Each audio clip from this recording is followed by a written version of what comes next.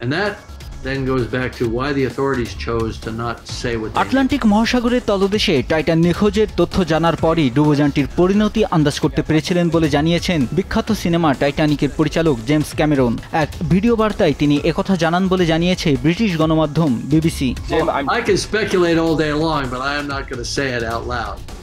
Cameron জানান যা কিছু হয়েছে তা আমি হারে হারে অনুভব করেছি। যখন ডুবোযানটির ইলেকট্রনিক্স কমিউনিকেশন ব্যর্থ হয়েছে এবং একই সঙ্গে ট্র্যাকিং ট্রান্সপন্ডার ব্যর্থ হয়েছে তখনই স্পষ্ট যে ডুবোযানটি আর নেই। They were on descent. They were at 3,500 feet. BBC জানিয়েছে উনিশশো সাতানব্বই সালে বিশ্ববিখ্যাত টাইটানিক চলচ্চিত্র বানান হলিউড চলচ্চিত্র পরিচালক ক্যামেরন। সে সময় পুরো বিষয়টি ভালোভাবে পর্যবেক্ষণ করতে তেত্রিশ বার মহাসাগরের তলদেশে গিয়ে টাইটানিকের ধ্বংসাবশেষ দেখে এসেছেন।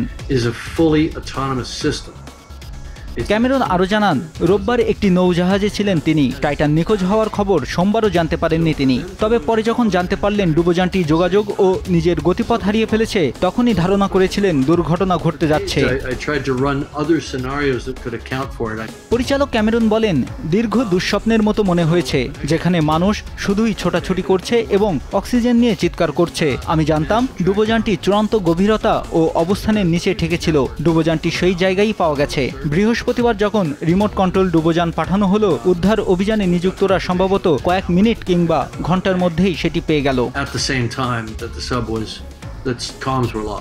একশো বছরের বেশি সময় আগে সেই উনিশশো বারো সালে আটলান্টিক মহাসাগরে ডুবে যায় সেই সময়ের সর্ববৃহৎ জাহাজ টাইটানিক। জাহাজটির ধ্বংসাবশেষ দেখতে গত রোববার পর্যটকদের নিয়ে ডুব দিয়েছিল ডুবোযান টাইটান। এটি পরিচালনা করে পর্যটন সংস্থা ওশান গেইট। আটলান্টিকের গভীরে ডুব দেওয়ার পৌনে দুই ঘণ্টার মাথায় টাইটানের সঙ্গে পানির উপরে থাকা নিয়ন্ত্রক জাহাজ পোলার প্রিন্সের যোগাযোগ বিচ্ছিন্ন হয়ে যায়। তারপর থেকে চলছিল টাইটানের উদ্ধার অভিযান। সারা বিশ্ব তাকিয়েছিল আসলে কি হতে চলেছে টাইটানের ওই পাঁচ পর্যটকের ভাগ্যে। বৃহস্পতিবার প্রথমে টাইটানের মালিকানা প্রতিষ্ঠান ওশান গেইট ডুবোজানে থাকা পাঁচ আরোহীর মৃত্যুর ঘোষণা দেয়। এর আগে অবশ্য ডুবোজানটি বিস্ফোরণে ভেঙে যাওয়ার আশঙ্কার কথা জানায় যুক্তরাষ্ট্রের কোস্টগার্ড চার দিনের শ্বাসরুদ্ধকার তল্লাশি শেষে যুক্তরাষ্ট্রের কোস্টগার্ড জানায়, ভয়ঙ্কর অন্তর্মুখী বিস্ফোরণে ভেঙে টুকরো টুকরো হয়ে গেছে টাইটান। আটলান্টিক মহাসাগরের তলদেশে টাইটানিকের জাহাজের ধ্বংসাবশেষের পাশেই পাওয়া গেছে টাইটানের ধ্বংসস্তূপ।